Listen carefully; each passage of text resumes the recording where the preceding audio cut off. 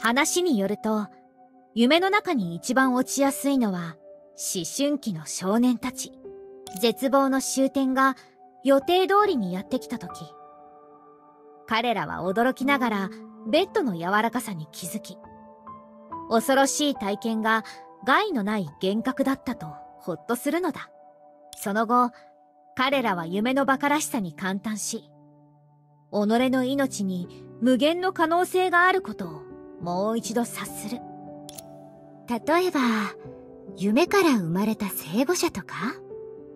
ちょっと、典型の目で勝手に人のディスプレイを見ないで。あとこれは間違いなく、あの者の予想外の出来事だよ。疑心も時間も、その力はそう簡単に制御できるものじゃない。例えば、地球人にクルセ平原と呼ばれたこの鉱漠だって、10億年前は人を魅了する入り江だったはず。その頃僕は生まれてすらいないよ。でも、そういう契約が一歩目の時点で間違っているとしたら、面白いだろうね。落ち着かないお客さん、何を考えてるの？若者には無限の可能性があるって今言ったばかりでしょだから、むしろその逆。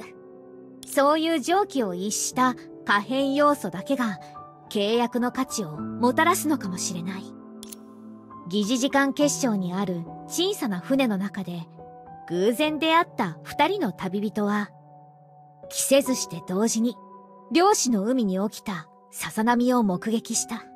でも、彼女たちがこの物語に影響を与える前に、夢が始まった場所に戻ってこっそりと若者だけの不思議な旅に加わろう。とにかく何らかのいいことが今起きているはず。